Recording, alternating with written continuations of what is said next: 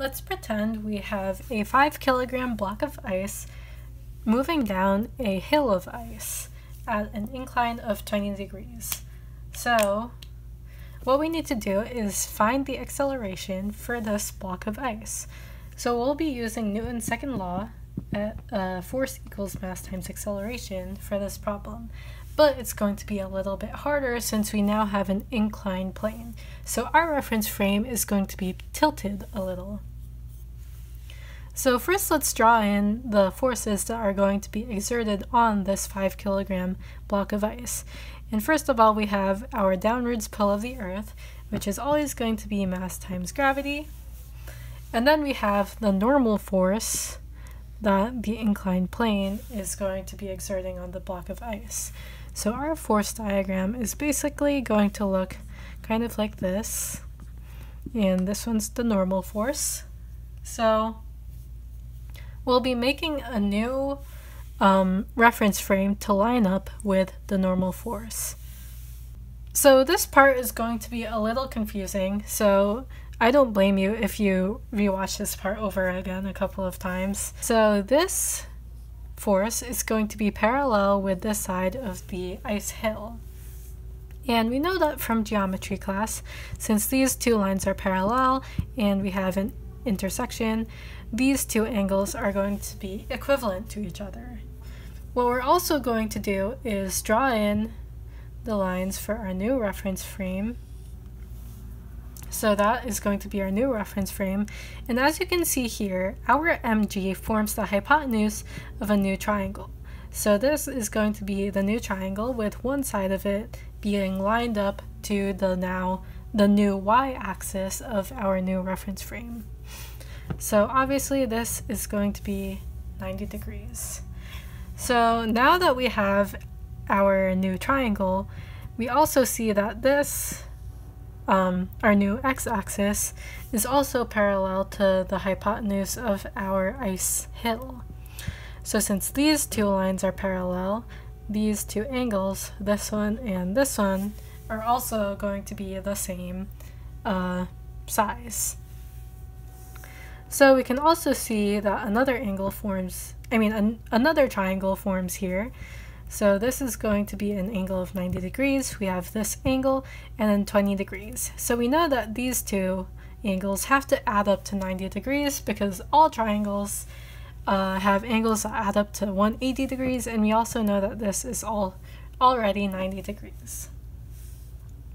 And we also have here that since these two axes are perpendicular, this angle plus this angle has to add up to 90 degrees as well. So since these two angles are the same, then that means these two angles must also be the same. So this angle right here is going to be 20 degrees. So we have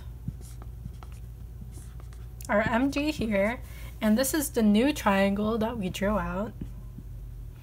And we have our 90 degrees because this side is going to be parallel to our new x-axis so we said that this angle is equal to the incline, which is 20 degrees. Okay, so now that is very valuable because now we'll be able to solve for the x and y components of our mg, or the force that the Earth is exerting on the ice block. This would be our y component, and this would be our x component on our new um, reference frame. So to get our y component, we'll need to use cosine because cosine is adjacent over hypotenuse. And this is what we're solving for, the y component. So the cosine of 20 degrees is equal to the y component over our hypotenuse, which is mass times gravity. So we said that the mass is 5 kilograms, so times 9.8, which is g. So we're going to have uh, 49 be this. So basically, our y component of our force of grav uh, force of the Earth pulling down on the ice block is going to be mg times the cosine of 20 degrees.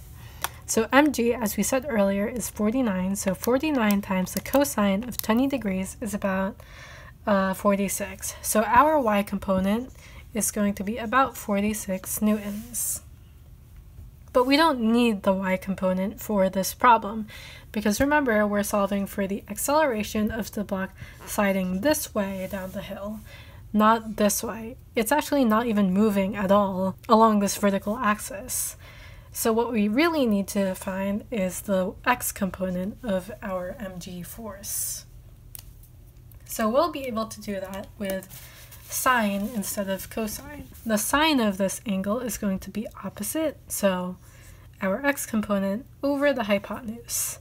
So sine of 20 degrees equals opposite over hypotenuse, which is also 49. So when we multiply 49 on both sides, we get that the x component is equal to 49 times the sine of 20 degrees. And that gives us about 16.8 newtons. So this is equal to 16.8 newtons. And that also gives us our net force going in this direction. So we can plug this into our net force. So we have 16.8 equals mass, which is 5 kilograms, times acceleration. And so we divide both sides by 5 to get that our acceleration is 16.8 divided by 5, or 3.36 meters per second squared.